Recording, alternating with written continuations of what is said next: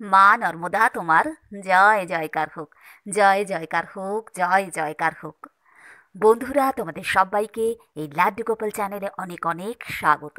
আমি আমার গুরুদেবকে প্রণাম জানিয়ে মাতা পিতাকে প্রণাম জানিয়ে আজকের এই ভিডিওটা শুরু করছি। আর ভিডিও শুরু করার আগে শৈলেন্দ্র নারায়ণ ঘোষাল শাস্ত্রীজির চরণে আমার সশ্রদ্ধ প্রণাম জানাচ্ছি। শৈলেন্দ্র নারায়ণ ঘোষাল শাস্ত্রীজির লেখা তপভূমি নর্মদা বইটা থেকে ধারাবাহিকভাবে পাঠ করে ভিডিও আপলোড করা হচ্ছে এই চ্যানেলে। বেশ কয়েক মাস হয়ে গেল। তো বন্ধুরা, আজকের এই ভিডিওটা তোমরা পুরোটা দেখো, কেননা এটা কিন্তু একটু অন্যরকম। শৈলেন্দ্র নারায়ণ ঘোষাল শাস্ত্রীজির সঙ্গেই দেখা হয়েছিল এমন একজনের, যার কথোপকথন এই ভিডিওতে তোমরা শুনতে পাবে। যার যার সাথে আমি যে কথা বলেছি, সেই অডিও রেকর্ডিংটা তোমরা এই ভিডিওতে শুনতে পাবে। কেমন ছিল তার অভিজ্ঞতা? শৈলেন্দ্র নারায়ণজিকে যখন তিনি দর্শন করলেন, তখন শৈলেন্দ্র নারায়ণজির সাথে দর্শন করার সেই অভিজ্ঞতা, সেই দুর্লভ কিছু প্রসঙ্গ, সেই কথা তোমরা এখানে শুনতে পাবে। আশা করছি অডিওটা তোমরা বুঝতে পারবে। তবুও হয়তো কোনো কোনো জায়গায় হয়তো একটু তোমাদের সাউন্ড একটু অন্যরকম মানে অসুবিধে হলেও হতে পারে। কেননা এটা তো ওভার টেলিফোন রেকর্ড করা। তো তোমরা একটু চেষ্টা করো সেটাকে শোনবার আর কি, পুরো কথাটা শোনবার। তো ভিডিওটা শেষ পর্যন্ত তোমরা স্কিপ না করে দেখো যে শৈলেন্দ্র নারায়ণজির সঙ্গে এই ব্যক্তির যার কথা বলছি, তার দেখা হয়েছিল এবং তিনি সেই অভিজ্ঞতার কথা শেয়ার করেছেন আমাদের সাথে। এবং আর একটা কথা হচ্ছে, এই যে যার কথা বলছি, তার নাম শ্যামল চক্রবর্তী, আমাদের সবার শ্রদ্ধেয় শ্যামলদা। তো উনি কলকাতার বেলঘরিয়াতে নিমতা অঞ্চলে ওইখানে ওনার বাড়ি। তো যাই হোক ওনার বাড়িতে আরও একটা কথা তোমাদেরকে বলি, যেটা শুনলে তোমরা অত্যন্ত আনন্দিত হবে। ওনার বাড়িতে মা নর্মদার মন্দির আছে। তো সেটা আমাদের কাছে অত্যন্ত আনন্দের, কেননা কলকাতার এমন একটা জায়গা যেখানে সব জায়গা থেকে মানুষরা চাইলে এসে দর্শন করতে পারবে, অন্তত এদিককার মানুষজন। তো সেটা আমাদের কাছে অনেক বড় পাওয়া। তো কীভাবে তার বাড়িতে মা নর্মদার মন্দির প্রতিষ্ঠা হলো? হঠাৎ করে এমন এমন কি হলো যে যাতে তার বাড়িতে মা নর্মদার মন্দির প্রতিষ্ঠা হয় আর কি? সেই সমস্ত ঘটনার কথাও তিনি কিন্তু অল্প অল্প করে কিছুটা এই ভিডিওতে এখানে তোমরা শুনতে পাবে। তিনি শেয়ার করেছেন সে সমস্ত কথা। আর ভিডিওটা শুরু করার আগে মানে রেকর্ডিংটা তোমাদের শোনাবার আগে আমি বেশ কিছু কথা বলছি।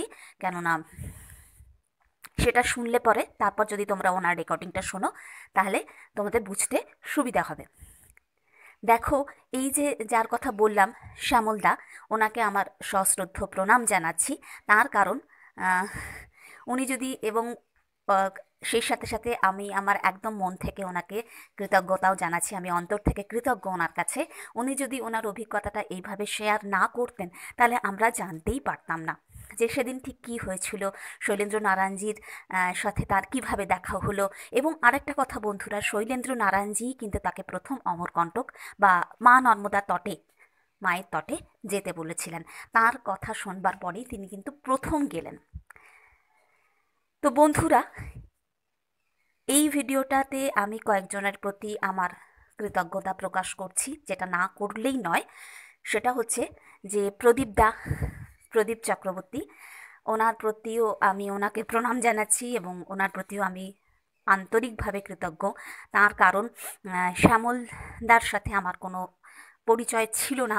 শ্যামলদার নামই আমি শুধু শুনেছি এবং প্রদীপদাই আমাকে বলেছিলেন যে শৈলেন্দ্র নারায়ণ ঘোষাল শাস্ত্রীজির সাথে শ্যামলদার দেখা হয়েছিল এবং প্রদীপদাই শ্যামলদার সাথে আমার কথা বলবার, যোগাযোগ করার ব্যবস্থা করে দিয়েছেন। সেজন্য আমি ওনার কাছেও কৃতজ্ঞ। এছাড়াও প্রদীপদা অনেক ইন্সপায়ার করেছেন আমাকে এই ভিডিওগুলো করবার ব্যাপারে এবং সাহায্যও করেছেন কিছু কিছু। অনেক ছবি উনি পাঠিয়েছেন, মায়ের কথা বলেছেন, সবটা নিয়ে। এছাড়া আরও বেশ কয়েকজন আছে যাদের নামও না করলেই নয়। সেটা হচ্ছে সুমনা ম্যাডাম, উনি একজন হিস্ট্রির একজন প্রফেসর তো সুমনা দিও আমাকে এবং আর্ট অফ লিভিং লিভিংয়ের টিচার তো সুমনা দিও আমাকে অনেক তার অভিজ্ঞতা শেয়ার করেছেন। তো সেগুলো সবটাই আমার এই ভিডিওগুলো করতে সাহায্য হয়েছে। তো যাই হোক, সুমনাদির কথাবার্তা আমি কিছু রেকর্ড করিনি। তো ইচ্ছে, জানি না কি হবে। তো সেগুলো মানে করতে পারব কি করতে পারব না সেটা তো পরের কথা। কিন্তু সুমনাদি তার অভিজ্ঞতাও শেয়ার করেছেন। তিনি যখন পরিক্রমা করেছেন, সেই সমস্ত অভিজ্ঞতার কথা, সেই জন্য তাকেও আমি প্রণাম জানাচ্ছি। তার প্রতিও আমি আন্তরিকভাবে কৃতজ্ঞ। এছাড়া আরও বেশ কয়েকজন আছেন সেটা হচ্ছে সর্বোপরি তো আমার গুরুদেব আছেনই। তিনি কৃপা না করলে এগুলো করা সম্ভব হতো না। তো তিনি তো অলক্ষে থেকে কৃপা করছেনই। তার জন্য এইগুলো করা সম্ভব হচ্ছে। মায়ের কৃপা আছে। মা নর্মদা, মা নর্মদারও কৃপা না থাকলে এই ভিডিওগুলো করা সম্ভব হতো না। তো সেগুলো তো আছেই, কিন্তু আরেকজনের কথাও না বললে নয়, তিনি হচ্ছেন কল্পনদা। তিনিও আমাকে বেশ কিছু দুর্লভ ছবি আমাকে পাঠিয়েছেন যেগুলো আমি তোমাদেরকে ভিডিওর মাধ্যমে দেখাবার চেষ্টা করব। তো আর এই মুহূর্তে এনাদের নামটাই আপাতত মনে আসছে। আর সর্বোপরি হচ্ছে যে শিক্ষাদি, যিনি বারবার শিক্ষা সরকার বেরা খুব সম্ভবত যদি আমি পদবিটা ভুল না করে থাকি, আর যদি ভুল করে ফেলি, তাহলে উনি আমাকে যেন ক্ষমা করে দেন। যতদূর আমার মনে পড়ছে শিক্ষা সরকার বেরা তো উনিও এই যে বারবার উনি শৈলেন্দ্র নারায়ণজির সম্পর্কে জানতে চাইলেন, শৈলেন্দ্র নারায়ণজির জন্মস্থানের ছবি দেখতে চেয়েছেন, তো সেটা তো আমি জোগাড় করতে পারিনি। কিন্তু ওনার কথাটা শোনার পরে আমার মনে হলো যে শৈলেন্দ্র নারায়ণ ঘোষাল শাস্ত্রীজি তাঁর ওপরে তো এই চ্যানেলে কোনো ভিডিও দেওয়াই হয়নি। তো সেটা শোনার পরই আমার মনে হলো, তো তারপরই আমি ভিডিওগুলো আপলোড করার চেষ্টা করি। আরেকজনের নামও না বললে নয় তিনি হচ্ছেন বিনয় সরকার, বিনয় দা। উনি উনি আমার থেকে অনেকটাই বড় তো আমার, ওনার কাছেও আমি কৃতজ্ঞ, তার কারণ উনিও ওনার ভালো পরামর্শ দিয়ে আমাকে গাইড করেছেন এবং সেই জন্য ওনার প্রতিও আমি কৃতজ্ঞ, ওনাকেও প্রণাম জানাই। তো মোটামুটি যাদের যাদের নাম মনে হলো সবার কথাই চেষ্টা করলাম বলতে। আর সর্বোপরি আমার এই লাড্ডুগোপাল পরিবারের সমস্ত সদস্যরা, তোমাদের মধ্যে যারা আমার থেকে বয়সে বড়, তাদেরকে আমি প্রণাম জানাচ্ছি এবং সবাইকে আমি আমার অন্তর থেকে আন্তরিকভাবে কৃতজ্ঞতা জানাচ্ছি। পাশে থাকবার জন্যে। এইবারে মূল প্রসঙ্গে আসি। সেটা হচ্ছে যে এই শ্যামলদা শ্যামলদার সাথে আমার কথা হয়। তো যে মুহূর্তে আমি ওনাকে ফোন করি, উনি মায়ের মন্দিরে ওপর থেকে নিচে নামছিলেন, পুজো পাঠ সমস্ত কিছু সমাপ্ত করে। তো সেই মুহূর্তে আমি ওনাকে ফোন করি, উনি আমাকে বেশ কিছুটা সময় দিয়েছেন এবং বলেছেন সেই সমস্ত পুরনো কথা। সেই ধরো তোমার বিরাশি, তিরাশি, চুরাশি সালের সেই পুরনো কথা। সেই সময়ের অমরকণ্ঠ কেমন ছিল? কেমনভাবে ওনার সাথে শৈলেন্দ্র নারায়ণ ঘোষাল শাস্ত্রীজির দেখা হলো? তিনি কি কি বলেছেন? সব কথাই বলেছেন। তো সেটা তোমাদের সঙ্গে অডিও রেকর্ডিংটা ভিডিওর শেষে আমি শেয়ার করব। তোমরা পুরো রেকর্ডিংটা শোনবার চেষ্টা করো। তো উনি অত্যন্ত মন খুলে কথা বলেছেন, যেটা আমার সবথেকে ভালো লেগেছে, যে সাহায্য করেছেন এবং তার অভিজ্ঞতার কথা আমাদেরকে জানিয়েছেন। বন্ধুরা, এবার একটা কথায় আসি যে শ্যামলদা আমাদেরকে অমরকণ্টকের একজন, যিনি মা নর্মদার মন্দিরের প্রধান পুরোহিত ছিলেন, সেই শ্রদ্ধেয় শ্রী রাজেন্দ্র প্রসাদ দ্বিবেদীজির কথা বলেছেন। তো বন্ধুরা, এই রাজেন্দ্র প্রসাদ দ্বিবেদীজি শ্যামলদাকে দীক্ষা দিয়েছিলেন এবং উনি ওনার গুরুও ছিলেন। তো যাই হোক, তো সেই রাজেন্দ্র প্রসাদ দ্বিবেদী এই নামটা তোমরা অমর মানে এই যে, এনার নাম আর কি এনার নাম তোমরা তপভূমি নর্মদা বইটিতে পাবে। বইটির একদম শুরুর দিকে ওনার নাম লেখা আছে। আমি তোমাদের বোঝবার সুবিধার জন্য জায়গাটা পাঠ করে দিচ্ছি। তো এই রাজেন্দ্র প্রসাদ দ্বিবেদীর সাথেও কিন্তু শ্যামলদার দেখা হয়েছিল। এবং রাজেন্দ্র প্রসাদ দ্বিবেদী শ্যামলদাকে অনেক কিছু অনেকভাবে তাকে অনেক কিছু বলে দিয়েছিলেন, অনেক কিছু করতে বলেছিলেন, তাকে এই পথে এগোতে সাহায্য করেছিলেন এবং সর্বোপরি তাকে দীক্ষাদানও করেছিলেন। তো বন্ধুরা শৈলেন্দ্র নারায়ণ ঘোষাল শাস্ত্রীজি, এই রাজেন্দ্র প্রসাদ দ্বিবেদী সম্পর্কে কি বলছেন তোমাদেরকে সেই জায়গাটা একটু পাঠ করে শোনাই, তাহলে তোমাদের বুঝতে সুবিধা হবে। লিখছেন শৈলেন্দ্র নারায়ণজি তপভূমি নর্মদা বইটির একেবারে শুরুর দিকে, একদম নিচের দিকে, স্টার মার্ক দিয়ে এটা লেখা রয়েছে। গত উনিশশো তিরাশি সালে পুনরায় আমি অমরকণ্টক গিয়েছিলাম। সঙ্গে ছিল পুত্র আনন্দমোহন। তার মাতা ঠাকুরানী, পুত্র আনন্দমোহন তো ছিলেনই, এবং তার মাতা ঠাকুরানী শ্রীমতী দেবীরানী ঘোষাল ও হাওড়া নিবাসী শ্রী অমর কেতন রক্ষিত।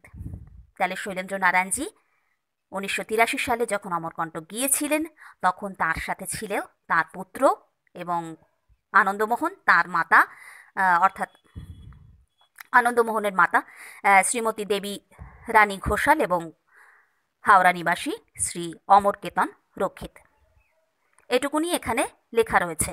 তারপর লিখছেন তিনি যে, এবারে গিয়ে শুনলাম, অর্থাৎ উনিশশো তিরাশি সালে তিনি গিয়ে শুনলেন যে, পণ্ডিত রামদিন, রামধীন দ্বিবেদী রামধীন দ্বিবেদী উনিশশো সালে দেহ রক্ষা করেছেন। এখন পণ্ডিতজির জ্যেষ্ঠ পুত্র পণ্ডিত শ্রী রাজেন্দ্র প্রসাদ দ্বিবেদীজি নর্মদা মাইর প্রধান পুরোহিত। ইনিও সংস্কৃত ব্যাকরণের আচার্য, উপাধিধারী, নর্মদা মাইর একনিষ্ঠ ভক্ত। তার সঙ্গে পরিচয় হতেই তিনি জানালেন, গত উনিশশো উনপঞ্চাশ সালে বাবার আমলে যে অমরকণ্টক দেখে গেছিলেন, এখন তার অনেক পরিবর্তন হয়েছে। এখন এখানে লোক বসতি আগের চেয়ে বেড়ে গেছে। নর্মদা মন্দিরের পূর্ব দিকে গড়ে উঠেছে বরফান আশ্রম। মন্দির থেকে বেরিয়ে কপিল মার্গ ধরে পশ্চিম দিকে কিছুটা এগোলেই দেখতে পাবেন শান্তি কুটির কল্যাণ আশ্রম এবং মাইল দেড়েক দূরে রামকৃষ্ণ কুটির। এগুলি সবই নর্মদার উত্তর তটে অবস্থিত, সবই যাত্রী নিবাস তো এই রাজেন্দ্র প্রসাদ শ্রী রাজেন্দ্র প্রসাদ এই যে দ্বিবেদী রাজেন্দ্র প্রসাদ দ্বিবেদী মহাশয়, যিনি মা নর্মদা মন্দিরের প্রধান পুরোহিত ছিলেন এবং নর্মদা মায়ের একনিষ্ঠ ভক্ত ছিলেন, যার কথা শৈলেন্দ্র নারায়ণজি বলছেন এই মানে এখানে তপভূমি নর্মদাতে, তার সাথেও শ্যামলদার দেখা হয়েছিল এবং তিনি তার গুরুও ছিলেন। তো বন্ধুরা, শ্যামলদা এখানে বলেছেন মানে তোমরা অডিওটা শুনলে বুঝতে পারবে যে তখন, অর্থাৎ যে সময়কার কথা বলছেন তপভূমি নর্মদা, তখন বইটা বেরোয়নি। বইটার কাজ প্রায় সম্পূর্ণ মানে বই রেডি হয়ে গেছে, কিন্তু তখনও পাবলিশ হয়নি সেই সময়কার কথা। এবং শৈলেন্দ্র নারায়ণজি তাকে বললেন, অমরকণ্টক যেতে। তিনি লিখেও দিলেন কিছু কথা এবং মা নর্মদার কথা, মা নর্মদা পরিক্রমার কথা যেগুলো শ্যামলদা জানতেন না, সেগুলো সমস্ত কিছুই তাকে বললেন। তো যতটুকুনি সম্ভব হয়েছে শ্যামলদা আমাদের সাথে সবটাই শেয়ার করার চেষ্টা করেছেন এই অল্প সময়ের মধ্যে। এবং তারপর তার ইচ্ছে ছিল যে মা নর্মদার মন্দির প্রতিষ্ঠার করবার। কলকাতার বুকে। তো সেই ইচ্ছেও মা তার পূরণ করেছেন। তার বাড়িতে মা নর্মদার মন্দির আছে এবং সেই মন্দিরের কথাও শ্যামলদা বলেছেন এখানে যে মায়ের লীলার কথাও বলেছেন। তোমরা শুনবে যে একজন ব্যক্তি কীভাবে মানে তিনি চিনতেনও না মন্দিরের অ্যাড্রেস, চিনতেন না, জানতেন না তিনি মাত্র ধূপ ধুনোর গন্ধ পেয়ে কীভাবে এসে মন্দিরে পৌঁছলেন। মাই তাকে পথ দেখিয়ে নিয়ে এসেছে। তো ওই যে শোভানন্দজির কথা, তোমরা সবাই জানো শোভানন্দজি কথায় কথায় কি বলতেন? নর্মদা মে এসাই হতা হ্যাঁ তো এটাও তাই। তো মা নর্মদার, এও একটা লীলা। আর যেটা শ্যামলদা বলছেন যে তৎকালীন অমরকণ্টক মানে জঙ্গলে পরিপূর্ণ ছিল, যে তিনি একবার দুবার মানে একবার গেলেন কিন্তু তারপরে আর মানে তার যা মনে হলো যে আর যাবেন না আর কি কিন্তু আবার তিন চার মাস বাদে আবার গেলেন, মায়ের এমনই টান। আবার ভাবছেন যে না, এত জঙ্গলে কি আছে মানে যাব না আর কি এরকম একটা ব্যাপার। তো তারপর আবার তিনি চলে গেলেন। এইভাবে বারবার মা তাকে সেখানে নিয়ে গিয়েছে এবং তৎকালীন অমরকণ্টকের কীরম কী দেখেছেন তিনি? তার সেই সমস্ত কথাই তিনি যতটা এই অল্প সময়ের মধ্যে শেয়ার করা সম্ভব তিনি বলেছেন। আর বন্ধুরা, আরও একটা কথা যে, পেন্ড্রা থেকে অমরকণ্টক দূরত্বটা কিন্তু কম নয়। ওই পথ তিনি হেঁটেও গিয়েছেন। যেরকমভাবে শৈলেন্দ্র নারায়ণজিকে আমরা দেখেছি যে, হেঁটেও গেছেন। আমরা এখন শুনলে হয়তো অনেকেই ভাবতে পারব না যে, বাবা, পেন্ডার থেকে অমরকণ্ঠ কতটা রাস্তা হেঁটে যাওয়া এটা আমাদের কাছে অনেকের কাছেই খুব কঠিন ব্যাপার। তো যাই হোক, তো হেঁটেও গিয়েছেন বলছেন অনেক আতা গাছ ছিল সে আতা পেরে পেরে তিন মানে তা, তাদের সেই, সেগুলো খাওয়া। যাই হোক, সে সমস্ত পুরনো দিনের কথা, সে কবেকার কথা, তিরাশি, চুরাশি, বিরাশি, এরকম সাল আন্দাজ, এরকম সালের কথা যখন বইটা প্রকাশিতই হয়নি। তো সেই সময়কার কথা তিনি বলেছেন। আরও একটা ব্যাপার বন্ধুরা, যেটা তিনি বললেন যে জিজ্ঞেস করবার মতো কেউ ছিল না। মানে কাউকে যে জিজ্ঞেস করে করে যাবেন সেই উপায়টা তার ছিল না। মানে মাই তাকে পথ দেখিয়ে একরকমভাবে নিয়ে গেছে। তো বন্ধুরা, কাজটা শুরু করিয়ে দিয়ে গেছিলেন শৈলেন্দ্র নারায়ণজি মা নর্মদার কথা তিনি সেভাবে জানতেন না বা যাই হোক, মা নর্মদা তটে এর আগে যাননি। তো শৈলেন্দ্র নারায়ণজি তাকে যেতে বললেন, আসলে মা জানতেন যে কাকে দিয়ে কোন কাজ হবে। সূচনাটা করিয়ে দিয়ে গেছিলেন মা নর্মদা শৈলেন্দ্র নারায়ণজির মাধ্যমেই। দেখো শৈলেন্দ্র নারায়ণজির সঙ্গে কিন্তু শৈলেন্দ্র নারায়ণজি যখন অমরকণ্ঠকে প্রথম গেলেন তখন কিন্তু তার সঙ্গে সুমের দাসটির দেখা হয়েছিল। ওই যে তপভূমি নর্মদা বইটির একদম শুরুতে তিনি বর্ণনা দিয়েছিলেন যে, ওই মহাতীর্থ দর্শনে বাবা আমাকে পাঠিয়েছিলেন উনিশশো উনপঞ্চাশ সালে। তিরিশে জ্যৈষ্ঠ সকাল আটটায় আমি বিলাসপুর হয়ে পেন্ডা রোডে পৌঁছেছি। ট্রেন থেকে নেমেই আমি পেন্ডা রোডের বাজারে নর্মদাতে সমর্পণের জন্য নারকোল এবং আরতির জন্য কর্পূর কিনতে যাই। দেখলাম আরেকজন সাধুও নারকোল কিনছেন। আমাকে তিনি জিজ্ঞাসা করলেন ইসলি হাম ক্যা কাহু? আপ আমার কন্ট্যাক্ট যাওগে? बोलम हाँ जी आपका शुभ नाम क्या है इसलिए हम क्या कहूँ हमारा गुरु ने नाम दिया सुमेर दास मैं अ, अमरकंटक जाऊंगा और भी कई दफ़े हम घूम चुका चलिए हम आपका साथ में ले जाऊंगा এই বলে তিনি তো তাকে পথ দেখালেন তো যাই হোক শৈলেন্দ্র নারায়ণজিকে সোমের দাসজি পথ দেখিয়ে নিয়ে এসেছিল আর শ্যামলদা বলছেন যে তিনি আহ, কাউকে সেভাবে জিজ্ঞেস করার সুযোগ পাননি আহ, মাই তাকে পথ দেখিয়ে নিয়ে এসেছে। তাছাড়া আর কি বলব বন্ধুরা, কেননা ওইভাবে না হলে পথ চিনে চিনে তিনি অমরকণ্ঠক পৌঁছলেন কি করে? তো এরপর তোমরা শুনবে সেই অডিও রেকর্ডিং। দেখো, শ্যামলদার মুখ থেকেই সরাসরি তোমরা শোনো। দেখো উনি কি বলছেন। তো দেখো, শুনতে থাকো।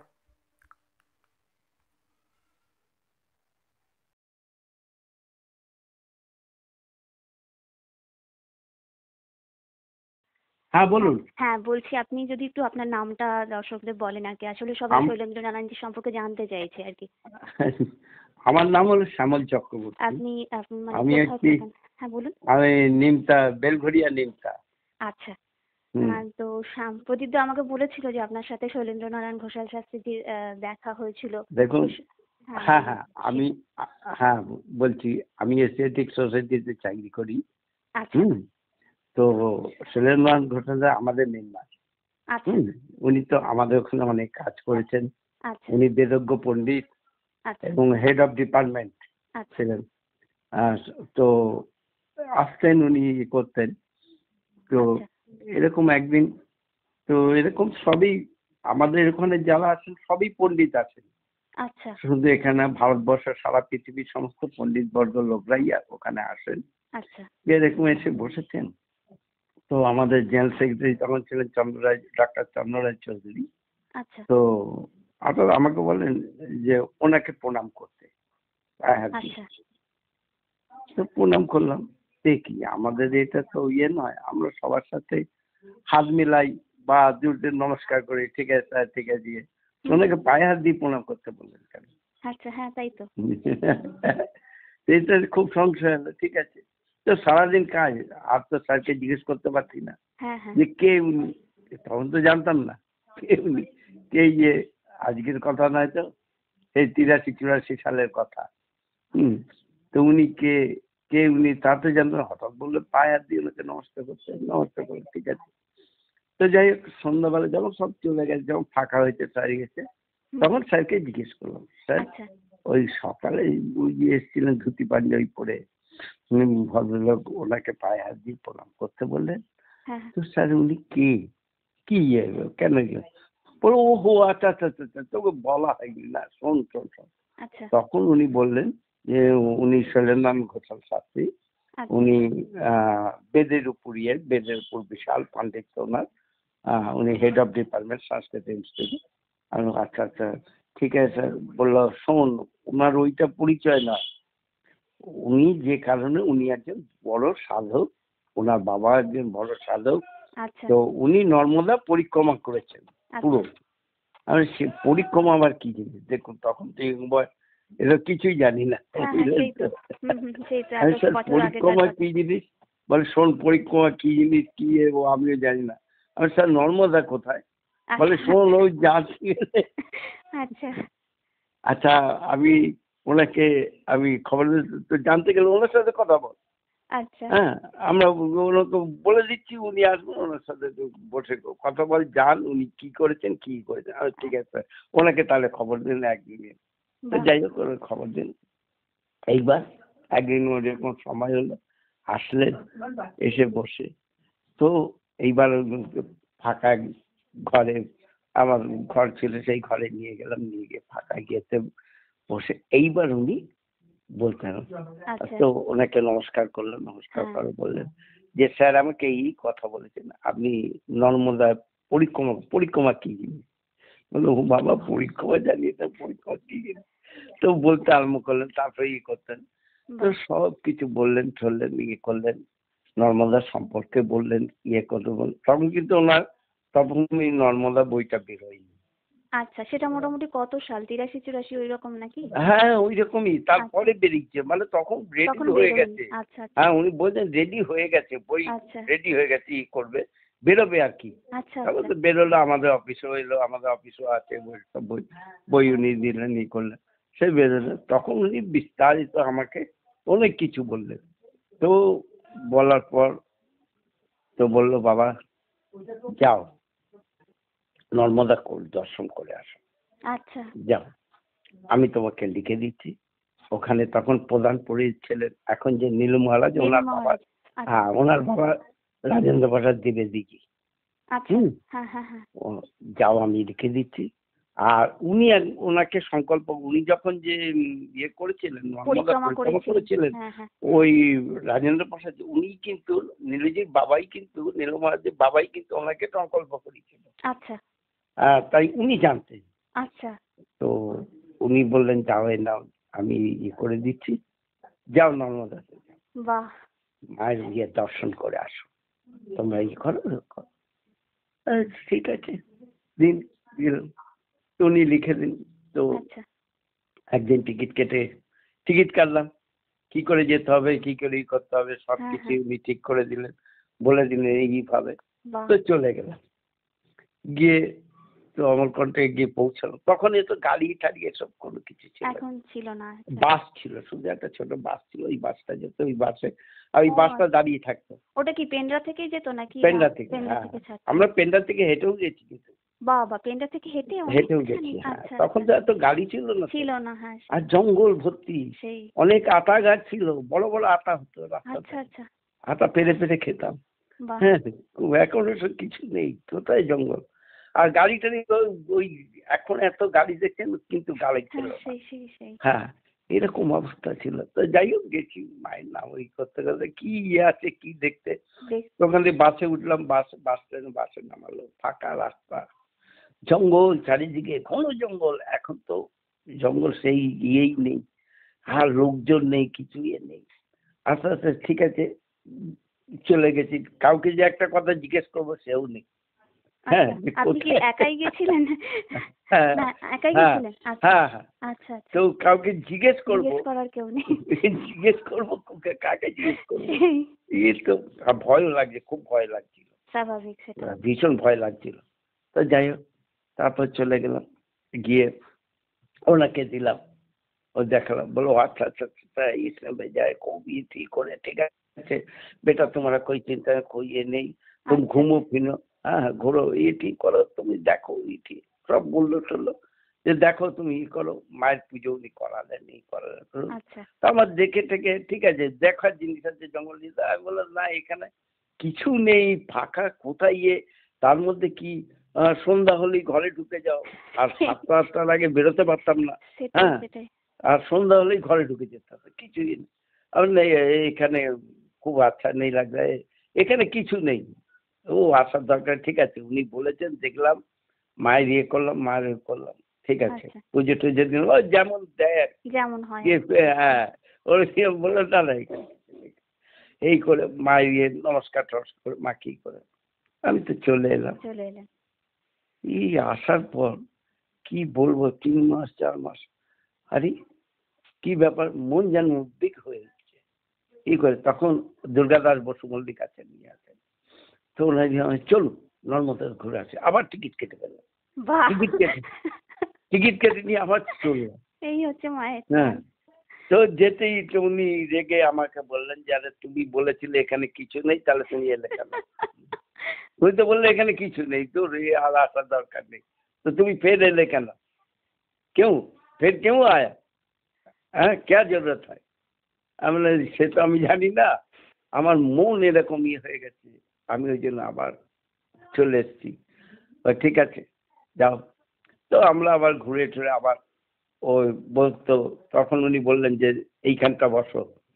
ওই মায়ের মন্দিরে ওখানে ওই ওই কোটিচিত্তে ওখানে মায়ের ইয়েতে বসালেন।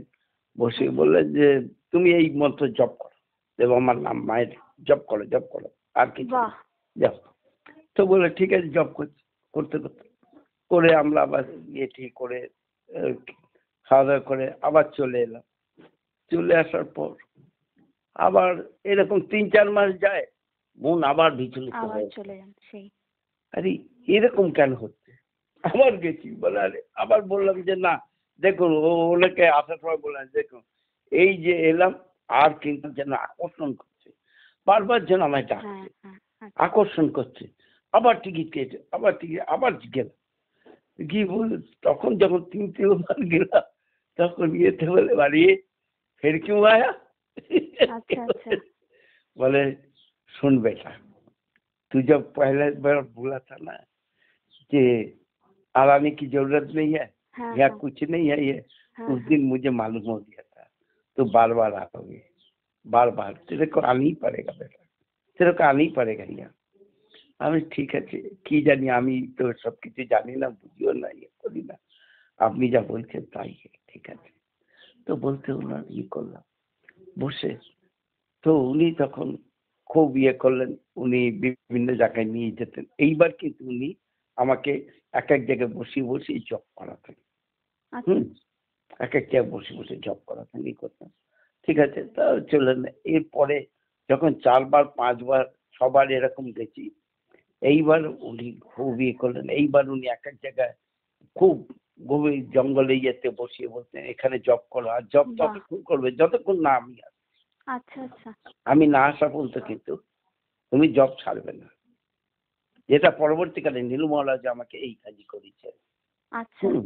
যে বসেছেন যে দেখো জব ততক্ষণ করবে যতক্ষণ না আমি আসছি তুমি জবে আচ্ছা। ই হয়ে যাও।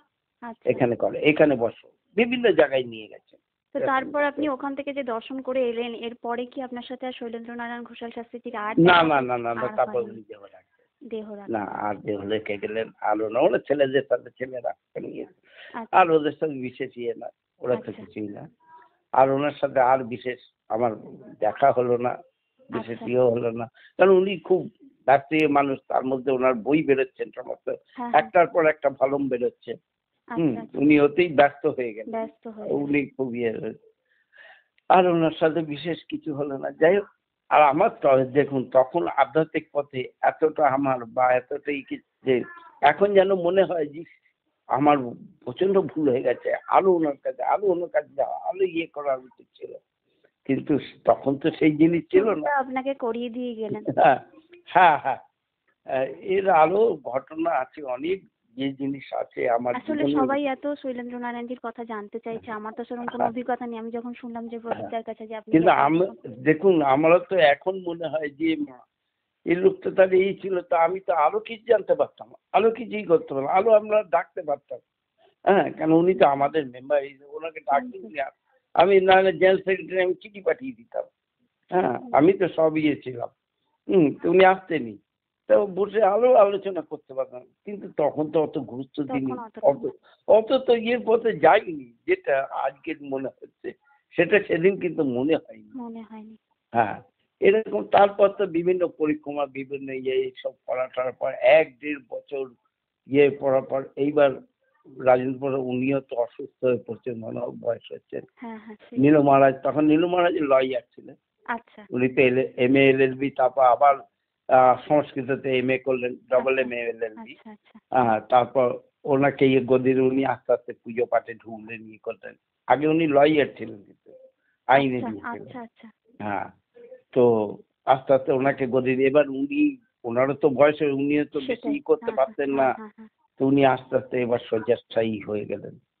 তো আমি এরকমই করতে- তার না তার আগে উনি কিন্তু আমাকে জল দীক্ষা দিয়ে গেলেন। আচ্ছা।